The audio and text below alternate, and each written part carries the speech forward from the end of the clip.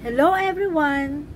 I'm Aurea Gibonites, a junior science high school teacher in Asia at San Mateo National High School, San Mateo Rizal, Philippines. I am also a proud member affiliate and the resources speaker of Asia Pacific Association of Educators Training Institute. I am very glad to share with you my topic which is Speak with Confidence. Learn the art of communicating. According to Amber King, are we best in front of our students or best one-on-one? -on -one? We should reflect on how we communicate and let that realization of what we do best guide our teaching. Why is confidence important in teaching? For us educators, confidence can improve our overall effectiveness as well as our well-being. We cannot always depend on others to keep us confident. So we should keep responsible for developing and nurturing our self-confidence. What are the ways to boost confidence as a teacher? 1. Be prepared. In planning, which includes anticipating challenges of particular classes on how we are going to deal with potential situations that may arise. 2. Walk tall. This is standing confidently and body language says a lot. We should not feel scared or unsure to avoid slouch or cower. 3. Your classroom, your rules. Set our classroom rules calmly and confidently. Also demand behavior that you expect from our students for better classroom management. 4. Don't fear criticism. Use it. Feedbacks, whether positive or negative, will help us teachers to build confidence and improve our practices. 5. Steer clear of negative Nellies. Though we are facing challenges nowadays because of COVID-19 pandemic, it doesn't help to constantly focus on negative aspects. It is better if we surround ourselves with positive thinkers or people who are trying to be positive in their jobs. 6. Realize your strengths. As teachers, we should also know our strengths which ultimately leads to confidence. Why do we need confidence in the workplace? To be more assertive, do more, and communicate more effectively. See to it that our words and actions have conviction. Engage in challenging and manageable projects. And if we are confident enough with what we are doing, this will allow us to speak concisely and with clarity. If we can communicate with confidence, we can convey in clear and efficient manner. Thus, effective communication is really important in our career as teachers. Then what is confidence in teaching? The Lexico Dictionary defines confidence as a feeling of self-assurance arising from one's appreciation of one's own abilities or qualities.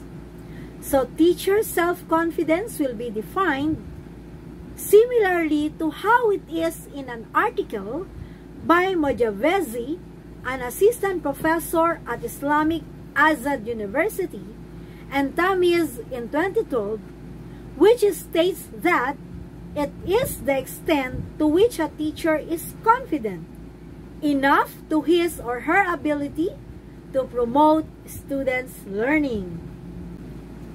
Communication is a science as well as an art.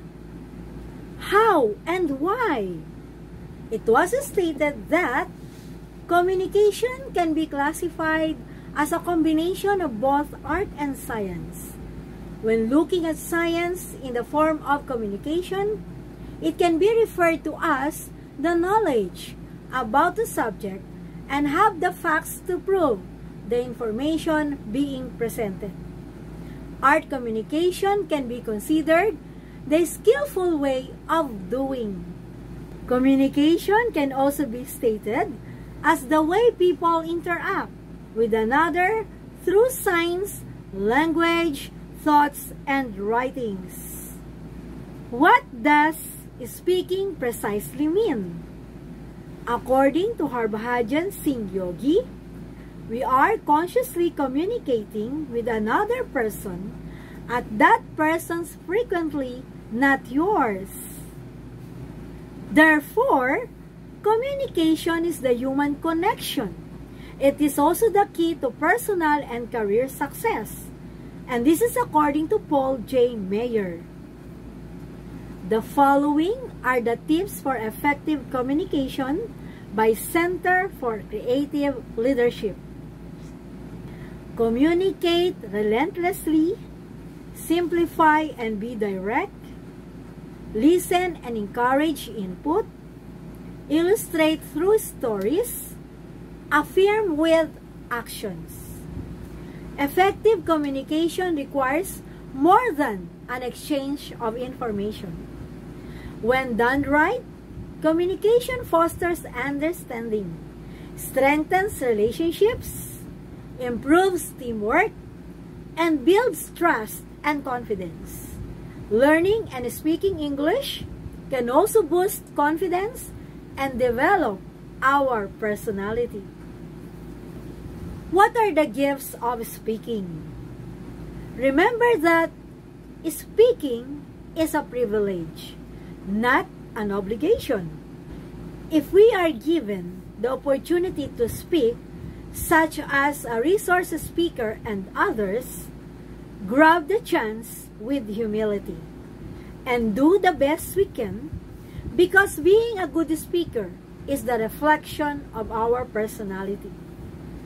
Take note also that not everyone has the talent and skills to be a speaker, and we should also speak as a leader in our own field. The following are essentials to help speak with more confidence. 1. Carry yourself with confidence. Maintaining a confident posture will help believe that we are ready and capable to speak. Be prepared. Practice with understanding is also a key to good preparation. Speak clearly and avoid ums. We may ask this question. Have we ever watched or hear speeches that would be much more effective if, if speakers didn't keep on saying ums? This would really affect the entire speech. Don't fill silence with nervous chatter. As much as possible, we should overcome nervousness and visualize it ahead of time. How to speak with confidence? Break the pattern of negative habits. Like, eliminate filler words.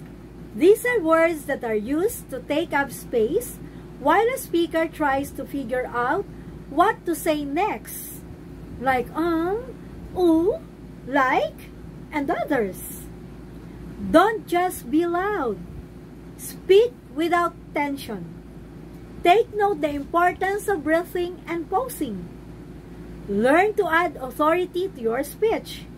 Whether we raise or lower our voice or pitch, in speaking or asking, this makes sound much more confident, depending on how we deal with it. Focus on your audience, not what they think of you. Focus on your message for your audience. Focus on the higher values for your audience. Understand that the speech is for your audience, not you. Speak for your audience, not for you. Establish your credibility and earn their respect. When speaking or presenting, we should appear relaxed, confident, and in control. Deliver message with clarity, brevity, and impact. Command instant trust and respect from the audience. And know how to satisfy the needs of our audience. How to overcome fear of public speaking. Take note that content should be easy to understand, relevant to audience, and of the right length. Voice should be controlled properly. If there's tension in breathing or delivering, the audience will be tense also. As a speaker, maintain posture, our body should be in sync with the message. Make eye contact with the audience. As much as possible, overcome nervousness and to control, move around and take full abdominal breath. There must be notes to carry a summary of the presentation. Now, how to be a superstar speaker? He must be well prepared on his talk, with audience connection through eye contact, confident on his talk, can speak clearly, not too fast or too slow.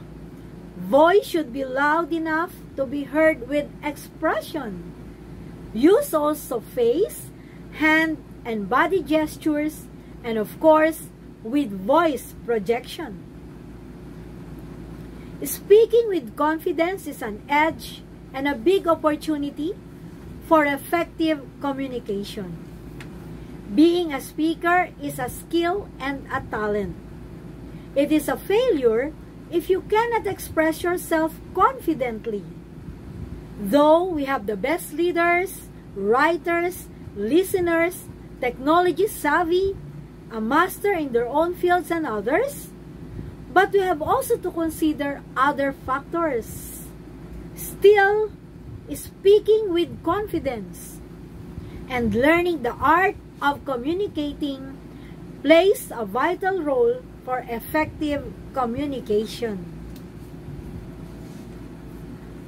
For us teachers, we can deliver our lessons well, use the art of questioning in our classes genuinely, defend our researches, be it a basic or action research, strategic intervention materials, science investigatory projects, and others. Masteral thesis and dissertations with convincing impact and easy manners.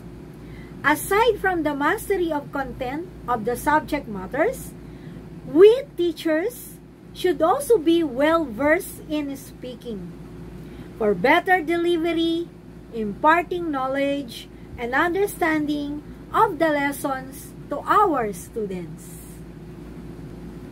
Speaking with confidence is extremely essential for everyone. This increases self-confidence and assists in developing the personality of a person. Plays a big role in our life and development of a smart society. It is a necessary way for delivering brilliant ideas and informations which are significant in the growth and improvement not only for ourselves but also for our co-workers, students, the community, and the nation as well. We must be responsible for the greater future and progress of the nation. As a whole, we should carry and practice all the characteristics of a confident and superstar speaker because that makes up a good and smart speaker. I want to share this quotation by Albert Einstein. It is the supreme art of the teacher to awaken joy in creative expression and knowledge. With that, this is Teacher Aurea G. Bonitez saying thank you so much to all of you. God bless everyone.